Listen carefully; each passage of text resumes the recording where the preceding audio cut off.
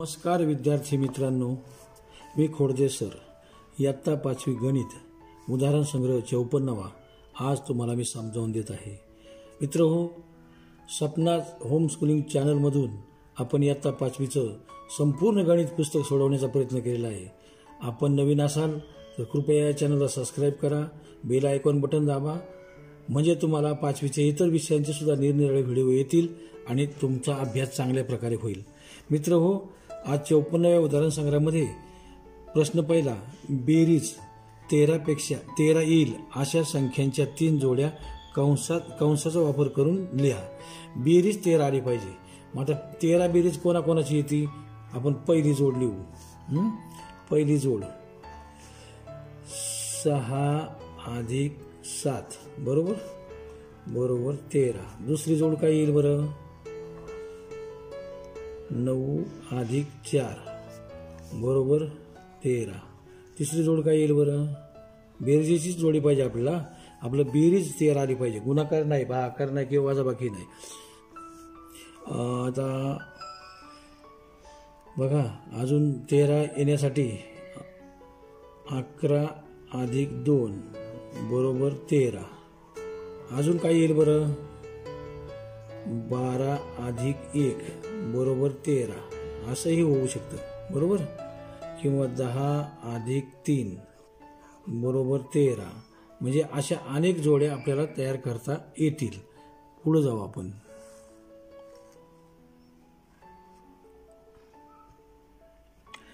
बेरीज वजाबाकी गुणाकार भाकर या क्रिया वापरून अठरा ही संख्या मिळेल अशा चार जोड्या लिहा. बेरीज करा वजाबाकी करा एकदा बेरीज करा एकदा वजाबाकी करा एकदा गुणाकार करा एकदा भाकार करा.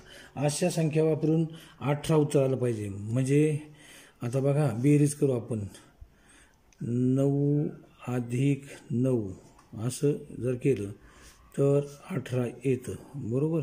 अजून पंधरा अधिक तीन बरोबर अठरा येतं. म्हणजे बेरजेच्या दोन जोड्या झाल्या. आता वजाबाकीची करू आपण हां? बावीस वजा चार बरोबर अठरा येतं.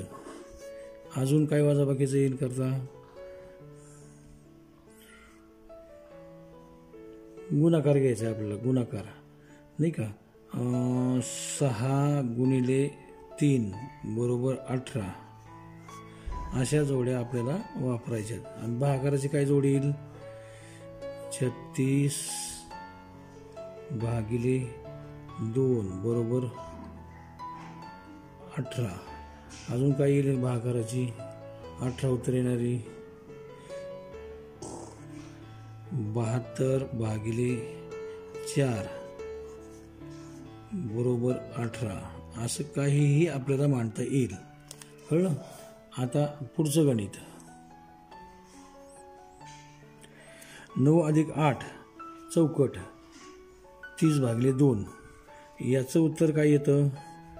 सतरा. बरोबर? याचं उत्तर सतरा येतं. आणि याचं उत्तर काय येतं?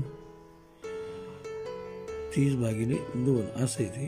इथं भागाकाराचं चिन्ह आहे. याचं उत्तर येतं पंधरा. पंधरा. मग आता ह्याच्यात हे चिन्ह का हे चिन्ह का हे चिन्ह? कोणतं मोठं आहे? हे मोठं आहे म्हणून हे उत्तर. कळलं?